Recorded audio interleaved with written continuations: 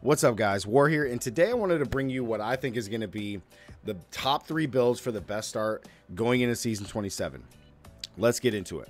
So I know I've made a bunch of videos, guys, and those will be linked on, uh, you know, how to do your best start for whatever class you have. But I think there's still a couple classes that kind of reign supreme over everything in season 27. Okay, so season 27 starts this Friday, which I'm very, very excited about. We got brand new uh, pet rewards and brand new cosmetics, which I think are really great.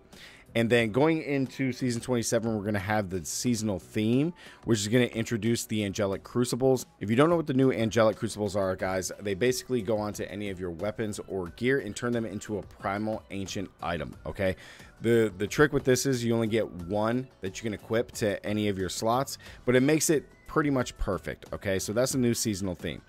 Now, when it comes to the best start, in season 27 and I want to break this down basically in three things is that one it's this video is all about getting from 1 to 70 the fastest two paragon farming and then three what is considered to go into paragon farming is the new Horadric gifts that you're going to get this season. All these factors kind of go into it for you know what's going to be my in my opinion the best three classes and builds that you're going to be looking forward to to level up the fastest. Okay, so starting off, let's look at the Horadric gifts. So you have you have the monk, which doesn't look that good. It's not that great. It's remnants. It's it got a little buff, but it's not great. Okay, then you have UE, Unhallowed Essence, which is basically multi-shot for Demon Hunter. You have Wrath of the Voice for the Barbarian, which is very good. And then you have Tal Rasha's for the Wizard, which up until recently, into the final patch notes, Tal Rasha wasn't looking that great, but now it looks amazing. Okay. The next thing is is that you have Roland's, which is kind of it's just trash. Poor Crusaders, man, it's just bad. You have Helltooth for uh, Witch Doctor, which is just okay, and then Rathma, also very very strong. Okay.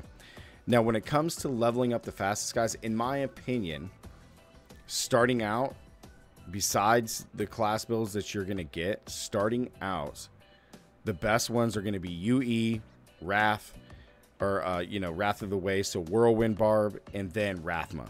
Okay.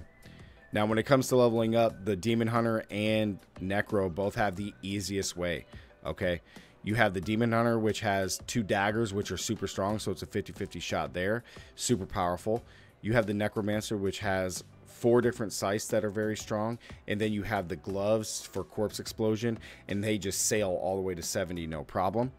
You have the barbarian, which I'm going to put at three, only because they have decent items that you get in the beginning, but if you can get there fast enough, then you know, Wrath of the Waste set is very good. It's a very strong Paragon farming set. I think in season 27 with the new Whirlwind ability from the Angelic Crucibles, which is arguably the best power coming in season 27. So those three, and then you have Monk, which can do their like cool little trick. But Monk, you don't really have anything good, right? You have Remnants, which isn't good, and then you have LOD Wave of Light, but it's very, very hard to gear. So I don't want to put Monk in there. So it comes down to Demon Hunter, Barbarian, and Necro. Um, and then when it comes to Paragon farming, Rathma isn't the best at speed Paragon farming. It's very strong and very powerful, but it's not the best at speed Paragon farming.